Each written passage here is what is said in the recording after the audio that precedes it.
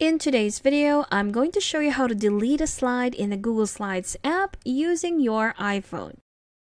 So when you're working on a presentation and you want to delete one of the slides within your presentation, here's how to do it.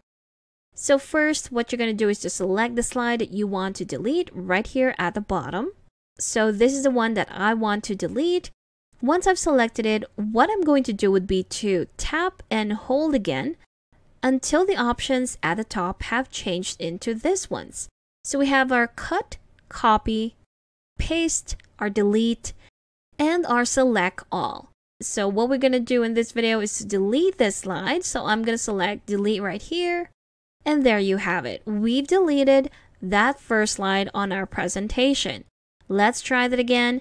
I'm going to delete this blank slide right here. Again, tap and hold until the options at the top have changed.